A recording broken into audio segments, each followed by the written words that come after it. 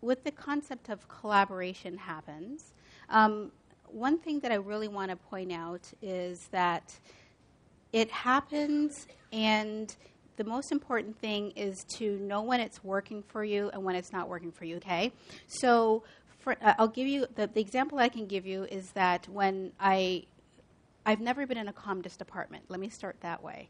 Um, and so for me, collaboration was always happening. My, I started out at the NIH in the laryngeal and speech section where there was voice, speech, language, swallowing happening, but it was happening among biomedical engineers, ENT, speech pathologists, psychologists, biologists, all of us under Christy Ludlow's um, um, uh, mentorship, which was cool. We're all looking at the same topic in different ways. So, in my view, collaboration happens in a number of ways. You have people who are of a similar background, who are looking at a multitude of things, and as a result, they end up having to reach out because they realize, gosh, we don't have expertise in XYZ. That sometimes happens when you're dealing with new technology. Like, you're like oh my gosh, I really want to know how the brain controls X. fMRI, wow, I really need to talk to folks who are, understand imaging. So it can happen that way out of pure necessity. But it can happen because the topic is inherently collaborative, similarly to swallowing, for instance. So there are a couple of ways to collaborate, and again, the most important thing is to figure out how it works best for you. Um, another uh, point that I wanted to make is that having a different approach to research is something that we find exists even if it's we're all in the same topic. So let's say everybody's really interested in stuttering, for, for instance if you are dealing with maybe making a device and you need to deal with biomedical engineers, I know engineers sometimes get the brunt of the jokes, but they are different thinkers than some people are in perhaps behavioral human related science. And my view is that you might not be learning a whole lot about um, an engineer's view of stuttering, but you might understand about an engineer's way of approaching research that could be useful for you, right? And sometimes my experience has been where basic scientists might approach things differently from folks who deal with humans, and we can actually take something from both sides. Um, another point that was that I wanted to make in this slide is that we think of science as a team sport, but when I think of team sport, sometimes I think of sports where everybody's agreeing and sports when everyone's not agreeing, right? So we assume i think the first thing i read when i saw that was like we're all in the same team team sport. But that's not always the case. Sometimes you do butt head with butt heads with people you collaborate with. The, mo- the important thing is to sort of get a sense of when it's not a team sport we're all on the same team. Think synchronized swimming as opposed to hockey perhaps ice hockey. I'm canadian so that's the first thing i think of with all the, all the fighting and the bloody noses. Um, but the point is that you can have situations where you don't have a team goal in mind. And um, sometimes political strat- strategizing with a mentor can really help you to, to sort of navigate that without um, burning bridges. Um, so, collaboration needs to be strategic.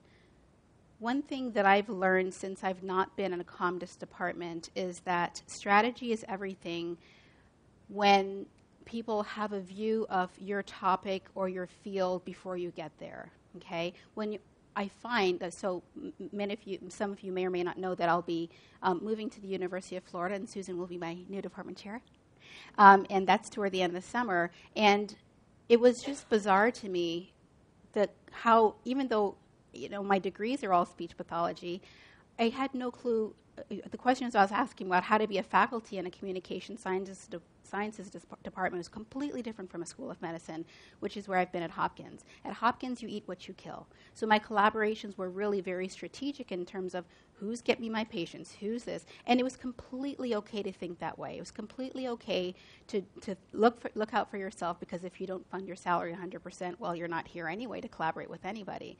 But now moving into a ComDis department, it's a different kind of approach in terms of collaboration. Service is on the list now. Look at that. So I now need to understand how to, to deal with people who have different things in mind besides how do I get my next grant and where, where's my next publication coming from, and um, s- much more student oriented. So that's where strategy sort of has had to come in for me because it really had a whole lot to do with what my environment is and sort of what my environment's goal was really based on. Um, but leveraging diversity of knowledge, in my view, extends beyond just the other scientists in the room. Um, as long as I've been around, I've learned who the gatekeepers are at the institution. They may or may not even be your department chair. They may or may not even be the dean. Um, sometimes you think if I can get the person on top to help me with X, when really it's perhaps the administrative assistant that really is a, supposed to be a really good partner for you. And you find you're collaborating with not just other scientists, you're collaborating with students, you're collaborating with, with administrative assistants, you're collaborating with many of the clinicians who will be helping you with data collection, and that their needs and their um, incentives are as important as yours are okay? And so um, I think, unfortunately, uh, many of the professional development talks that I've been to have been talking about collaborating with other scientists, especially that person who's, you know, really important, whose name should be on your grant. But you can get all that, and then you can't get anything done because you forgot about the people who make the whole ship move, and namely your ship. And so that's really something that we often forget about and has been really helpful for me as well. I think unequal intellectual ownership and workload distribution we can all relate to.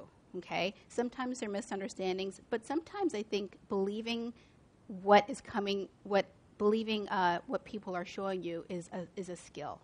Okay, so here's what I mean by that unequal intellectual ownership and workload distri- distribution.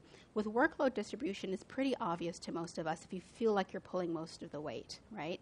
Sometimes people perhaps lend a name to your to your project, and we know they're lending their name and, and mentorship and expertise as needed. That's perhaps maybe the person who's 5% on your grant, right? For whom that 5% takes half your budget, if you know what I mean, right? So those are the people who have a lot of gravitas. They're senior people and they can really guide, generally guide your ship. But then there are the people who are sort of doing a lot of the daily work. And that is often where junior or mid level faculty tend to be, okay? And sometimes if you're collaborating with somebody at that level, there needs to be more. Um, let's say, objective listing, perhaps, of what the work is supposed to be. And sometimes unequal workload distribution can make a collaboration really go down because you might be feeling you're doing all the work, or even worse, you feel like you're doing all the work, and then when it comes time for authorship, nobody else did, and you're not where you think you should be. Okay? So I have found that having very um, scripted um, lists of things that need to be done and who should be doing it helps that. That way, when you find that, oh, wow, um, this is really backed up, do you recall that we agreed that you'd be doing X as opposed to assuming that that would be happening? I think that can really save a lot of relationships. Um, unequal intellectual, o- intellectual ownership. So there's, there's two ways to look at that. One perhaps is um, if you're working with someone for whom you thought had a lot of information, and as it turns out, they, they perhaps did not have as much. That's kind of a sticky situation to be in, as opposed to someone who ends up bringing in a whole lot more to the project. That's always welcome. It's always welcome to be completely surprised positively. This person really is a wealth of information. And learning to manage that, I think, comes by doing your research in advance when I'm going to collaborate with somebody, I try my best to read more about the kinds of things that they've done. I try my best to go to their talks. I try my best to talk to people who they've collaborated with. I think those are things that you can do that will set you up for the comments where, yeah, this person's really, oh, this person's just a genius in this, but kind of moody or just whatever whatever subjective information you get. So you can make a decision moody i can do moody. I think that's okay. I've had you know i can do that or you know that's just not for me. Because sometimes personality and actually your what you actually know about a topic sometimes they sometimes they collide. And the last point is use common sense. Are you stuck? So one thing that i wanted to say about the common sense and are you stuck is something that I think Ed mentioned, which is reading. Read, read, read. I think we have a tendency to read in our field way more than we read in other people's field and related fields. I think that can really help when moments when you're stuck. So my currently I went from I'm in um, PM&R physical medicine rehab. So I went from having colleagues that were more bioengineer, neuroanatomist at UW to OT, PT, SLP, neuropsych, and physiatrist, or at Hopkins, physiatrist, because they have to be special, right? So, physiatrist. Um, so, um, I would say that I had to then transform my thinking from more of a basic science model, which I was working with some of the neuroanatomists who are doing mouse model morphology type things, to a pretty strong re- re- rehab, right? So really, and that worked well for me as it turned out because there's swallowing is pretty inherently rehab. We're not doing a whole lot to prevent it unless we're preventing stroke and cancer in general. So I had to go then and read a whole lot of background stuff so I can have a conversation with potential collaborators who are focused on limb and limbs and, and uh, ocular motor with the neuros, neuro folks and vestibular. And I hadn't even been thinking about rehab in those domains. So I think when it comes to common sense, it seems like it's common sense for us to read because we do a lot of reading to be in, re- in, in research in the first place. But then when we get stuck, often it's going back to PubMed or wherever you get your, your science to really say, I think I just need to take a step back and just see what other people are doing. What are other models that are, that are being used? Yeah. So the, the last point I wanted to make is it's not in the information that was up there, but collaboration is huge for funding. When we think of the NIH, we often think of, well, where's my funding coming from? You know, it's not just, we've already heard, you know, diversify your profile, there's VA, there are all these other opportunities, but even within the NIH, um, even though my grants have been funded by DCD, sometimes they've been reviewed and pr- have program officers in completely different areas, NIA, NCMRR, which is um, rehab, and then NIDCD would maybe go back and take it and fund it. And I would have never thought that my grants would be reviewed in such different groups. And learning how to talk to people who don't know your area is so important for getting collaborators interested in what you're doing because you need them sometimes and they might not think they need you and trying to appeal to them.